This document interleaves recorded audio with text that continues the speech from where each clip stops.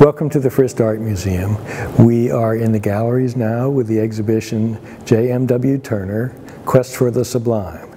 This is a wonderful exhibition. We would love for you to be here in person, but in lieu of that, I am going to walk you through and we're going to take a look at some of these masterworks, not necessarily through the eyes of an art historian, but imagining ourselves as if we are within the mind of the painter himself. So when we talk about the ocean, the impact of the ocean on the human imagination, we oftentimes describe moods, the moods of the ocean, and the, compare the moods of the ocean to the moods of the individual. You know, whether it's a you know a stormy relationship, you know, tumultuous uh, uh, uh, storm at sea. You know, all of these things correlate between the inside of the individual and the forces of the universe.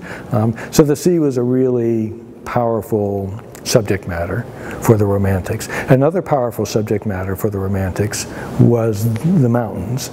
The mountains were lofty, they were ascendant, they were majestic, they were beautiful, every bit as beautiful as the sea, but they were also dangerous and they were terrifying.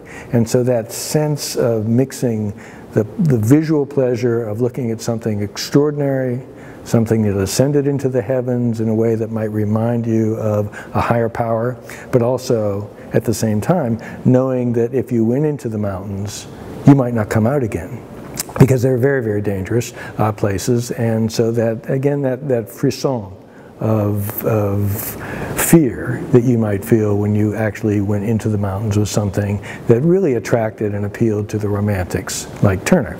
Um, so as a young man, of course, he wanted to paint mountains. The mountains wouldn't come to him in London, so he had to go find the mountains. But he couldn't go to Europe because at the time the Napoleonic Wars were in effect, and so he really so travel was impossible to go to France or to go to the Alps. So what he had to do was to travel around the UK, travel around England, uh, Wales, Scotland, and look for the mountains there that he could paint.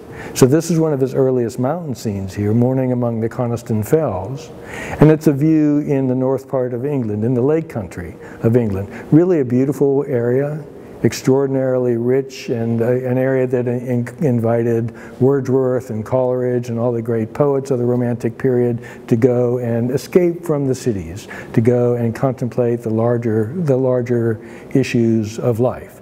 And so Turner followed suit.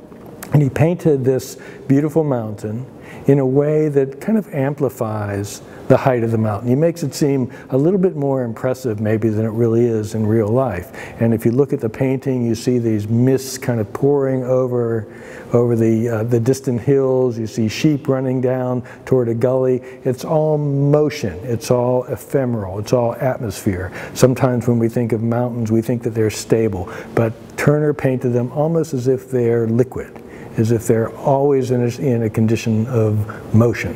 And that was something that, that he did throughout his life, that idea of painting one element as if it's another element and transforming it all into the liquidity of paint itself. So it's really a beautiful work. It's compelling. He painted it when he was relatively young. He painted it before he had a chance to go to Switzerland, to go to see the Alps for the first time. And as we look at some of the works that he did in Switzerland, we'll see a noticeable difference. The mountains are as majestic in real life as he made this painting of the north, uh, the northern England mountain, uh, English mountain. Um, but there's also a sense of, of precision in the topography because he's right in the middle of it. He immersed himself in it. So it's not necessarily a work of the imagination anymore. It's a work of documentation. It's capturing the actual moment of being in the mountains.